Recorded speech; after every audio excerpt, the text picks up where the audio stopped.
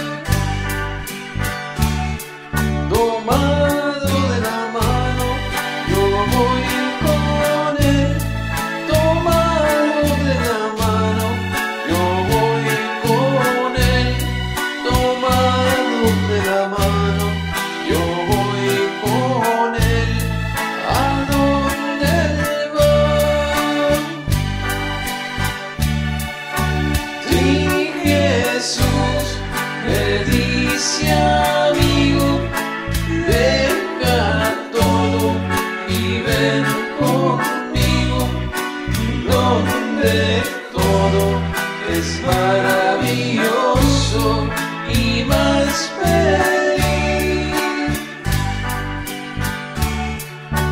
Sí, Jesús me dice